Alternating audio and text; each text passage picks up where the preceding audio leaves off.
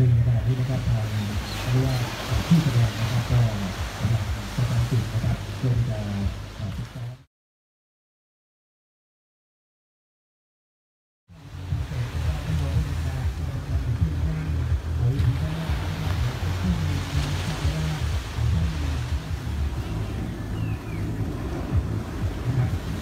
จะสร้างความมั่นใจให้กับผู้ใช้บริการ สายการบิน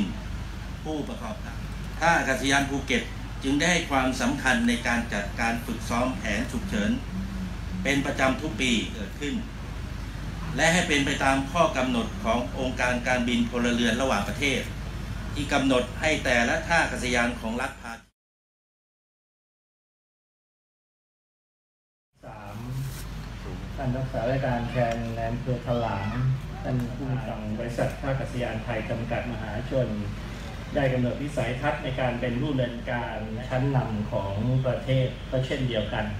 นะครับต้องก่อนในสถานการณ์สมมุติการกู้ภัยอากาศยานอุบัติเหตุทางทะเลขอมอบหมายให้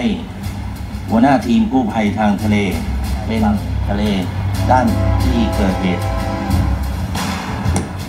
สี่หกรับทราบครับ ให้รถบังคับการสองมีผู้ประสบเหตุในเที่ยวบินนี้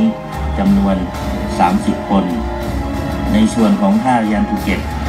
เราได้ดำเนินการจัดตั้งหรือ EOC และแจ้งให้หน่วยงานที่เกี่ยวข้องทั้งในพื้นที่จังหวัด และหน่วยงานรับผิดชอบต่างๆ รอบสนามขณะเดียวกันนะครับ